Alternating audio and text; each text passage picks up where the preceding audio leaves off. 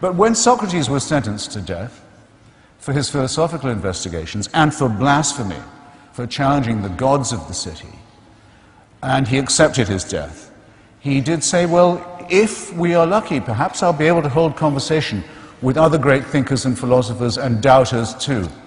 In other words, that the discussion about what is good, what is beautiful, what is noble, what is pure, and what is true could always go on. Why is that important? Why would I like to do that? Because that's the only conversation worth having. And whether it goes on or not after I die, I don't know. But I do know that it's the conversation I want to have while I'm still alive. Which means that to me, the offer of certainty the offer of complete security, the offer of an impermeable faith that can't give way, is an offer of something not worth having.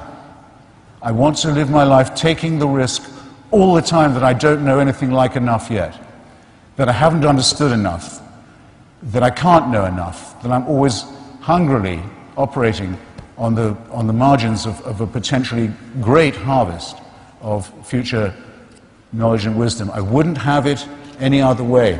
And I'd urge you to look at those of you who tell you, those people who tell you at your age that you're dead till you believe as they do. What a terrible thing to be telling to children. And that you can only live. And that you can only live by accepting an absolute authority. Don't think of that as a gift. Think of it as a, think of it as a poisoned chalice. Push it aside, however tempting it is, Take the risk of thinking for yourself. Much more happiness, truth, beauty, and wisdom will come to you that way. Thank you.